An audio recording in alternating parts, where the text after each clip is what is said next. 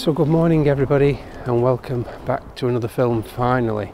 Thank you all so much for sticking with me over the past um, maybe eight weeks or so that I've been absent from the channel. Those of you that follow the channel will know that um, I suffered quite a loss just before Christmas losing my dad, and uh, it was a very difficult period indeed. And I just didn't feel like taking photographs or indeed going out for that matter. So I'd just like to say thank you all so much for first of all sticking with me, and um, especially so the last video that I put out. Um, I got a huge amount of comments, absolutely huge, and I've not responded to many of those.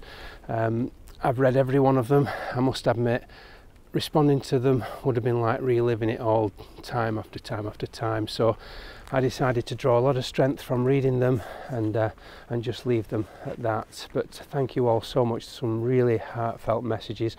Many of you have been through the same situation a number of times, in fact. Um, so yes, I drew a huge amount of strength from that. So thank you.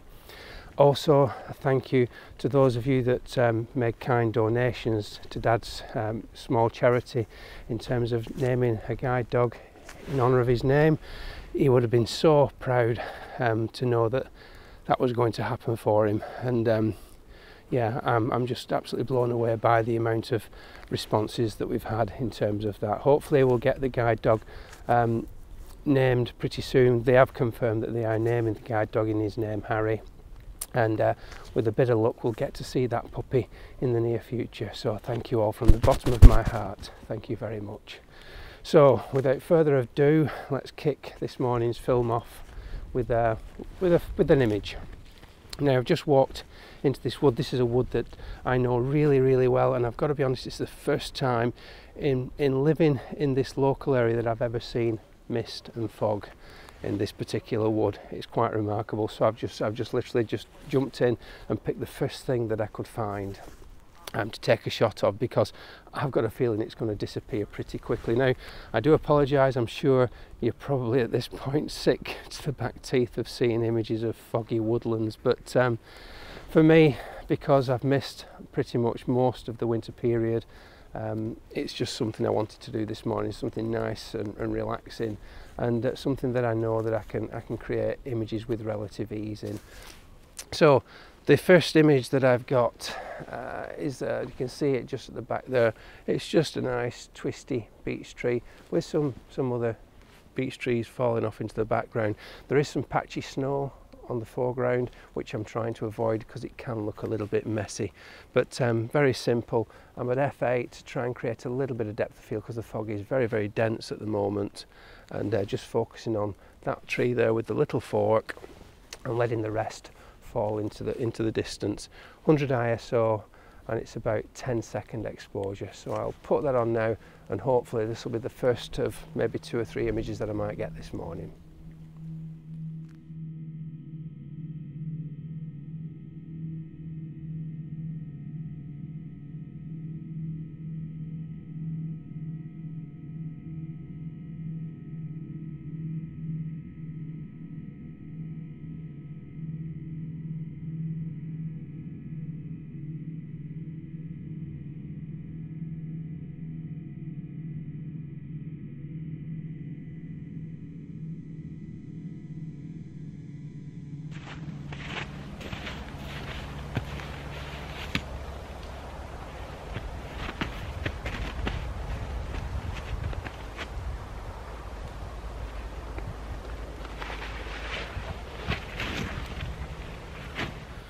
Time for a water break.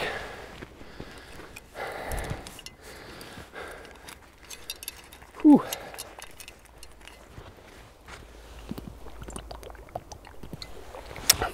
So I've been walking now for about 40 minutes since that last shot looking for compositions and uh, you would think on the face of it that they would be everywhere but um, maybe the real close-up intimate scenes are probably a little bit easy to find but I'm trying to look for some nice woodland shots this morning because like I said earlier I haven't been out in these conditions yet this year so I'm keen to get something. But it suddenly struck me as I was walking down the path that just because you've got fog and or snow, um, both in this instance, it doesn't mean to say that wherever you point the camera, you're going to get a good shot. You still need to be able to piece um, the jigsaw together, the compositional jigsaw, to be able to get something half decent.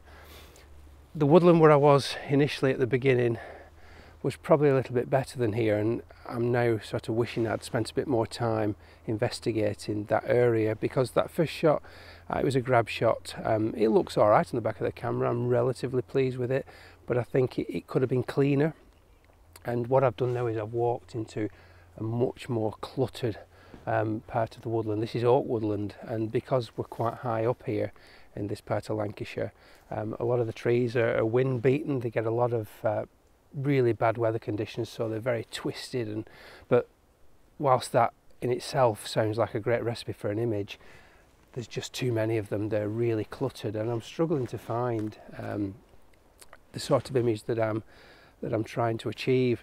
So I'm going to keep walking um, and hopefully get into a bit more of a clearing uh, before this fog lifts.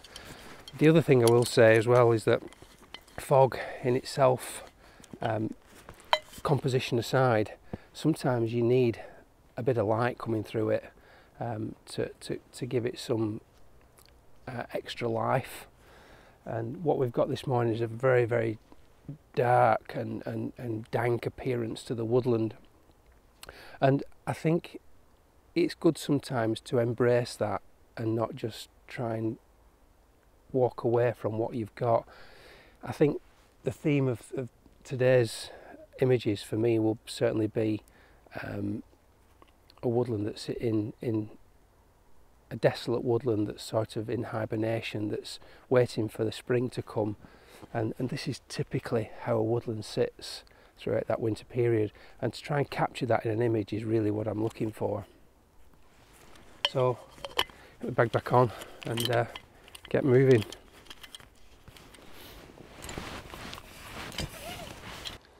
So one of the nicest things to find on any walk for me is finding signs of wildlife. And I've just come across two things here that's suddenly struck me and I'll show you the first one that I came across was not, not nice for everybody necessarily but a, a pile of droppings and there's a nice concentration of them there. They're quite tubular shaped and they're quite blunt with a tiny little point at the tip. They look, for all intents and purposes, a bit like rabbit droppings, but the fact that they've got that pointiness to the tips um, tells me that, that that's not rabbit, and there is a lot of them. Um, rabbits tend to poo while they forage, um, so the, the droppings tend to get a little bit more scattered. This is an animal that stood still, done its business, and then moved on. But just a little bit further on, you can see here.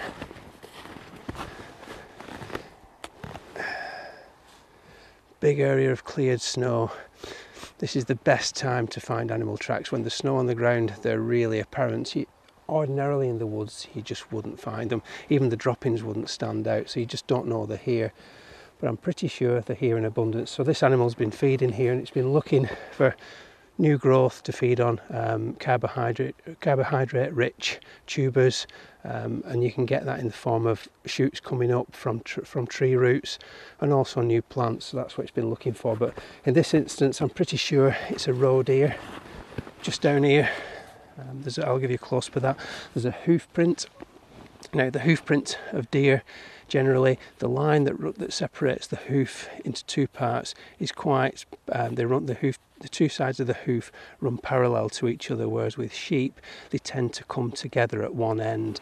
That's how you generally tell the difference between sheep prints and deer prints. So that's a really really nice lovely find just to know that they're here in this woodland but probably just laying low today while there's people moving through the woods. But uh, yeah nice little find to um, sort of make my morning really lovely and what beautiful conditions to find these things. Anyway let's move on.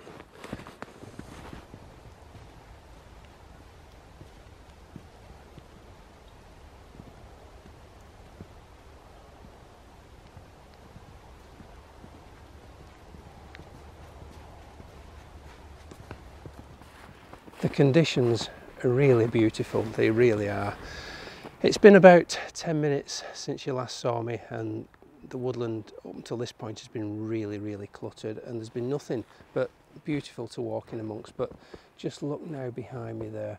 You can see that I've entered a clearing. These are mature beech trees whereas the others were quite spindly oaks um, lots and lots of them. Over to my left there it thickens up again. Lots of spindly young new regrowth. And if you look if you can see further back beyond another 100 metres so it thickens up again so the open patch is literally restricted to just this small area. So I'm going to invest a little bit of time and try and find something there while I can. I've just spoken to home, which is only about 10 minutes away from here and there's no fog whatsoever. So I've really got to make the best of it while I can. So here's what I've done. I didn't actually get to the other side of the wood yet, but I like what I've seen here. There's at least two, possibly three images. So what I did was I, I moved around quite quickly with this camera here and I framed up a couple of compositions while I actually used the viewfinder to search around for compositions.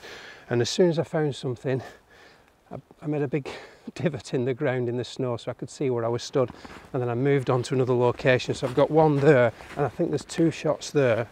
And then I've got another one here um, where I've just kicked the snow away. So I'm going to frame that up. The first one I think is probably going to be a slightly wider shot incorporating some of the foreground. The one just in front here is more of the the shapes of the trees. I'm going to have to work quick because I'm really paranoid that this is going to go before I get a chance to take a picture. So here, here goes.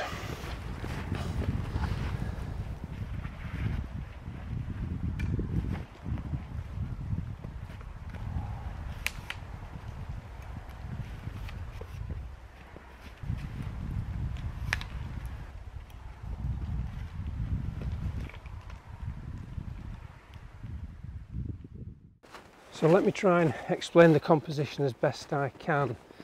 So it's going to be a panoramic crop. Um, I've got the nodal rail set on the camera and I'm doing a panoramic sweep from left to right. I am including some foreground, um, the snow.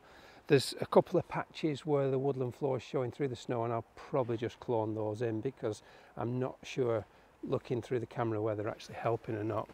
The first shot will start with this tree here. This will be the main anchor point and the nice curvy branches at the top.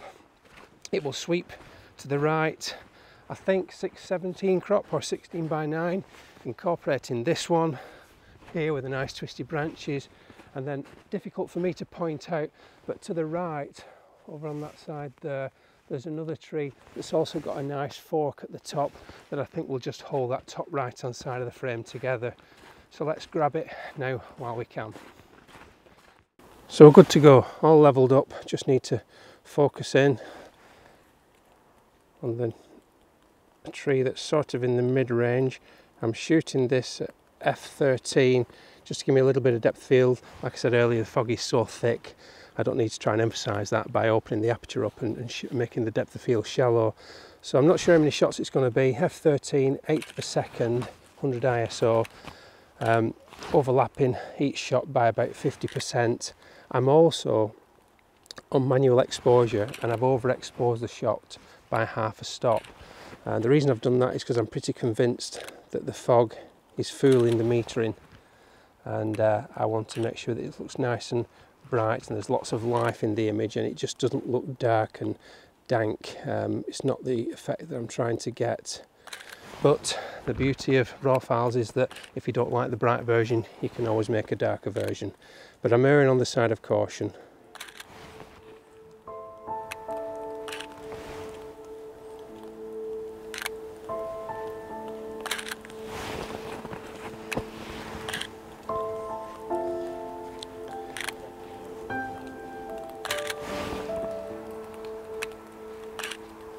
There we go.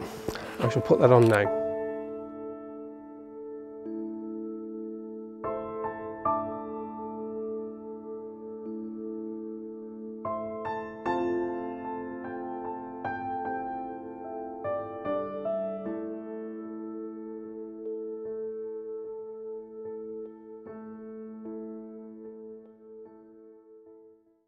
So I've changed lenses.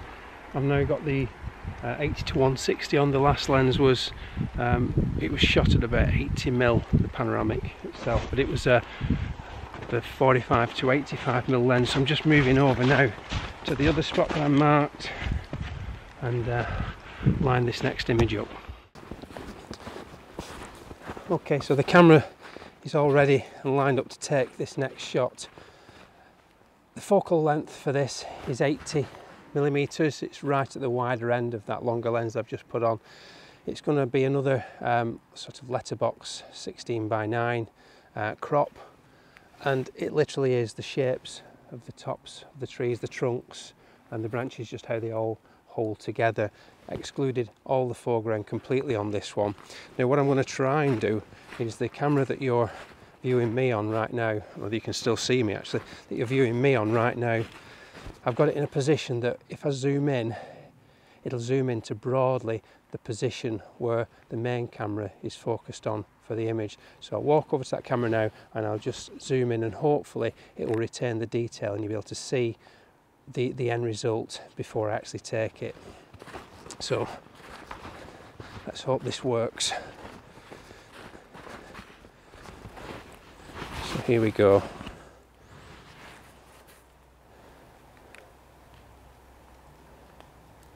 It's going to be somewhere round about there but you can see straight away just how much improved that is by going in closer uh, so I'll take that now on the big camera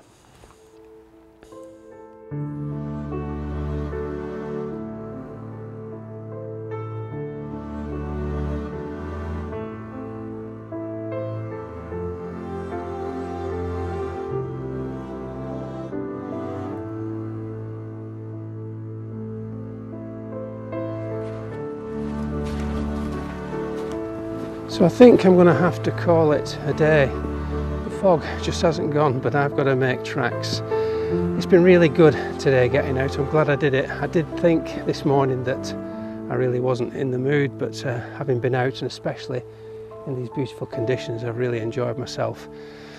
Hopefully now getting the new year into full swing and we get a bit more freedom the videos will start to come more regularly as they usually do with me. Usually I try and get a film out every fortnight at best. Um, so if you've enjoyed the film today, please don't forget to subscribe and leave some comments below.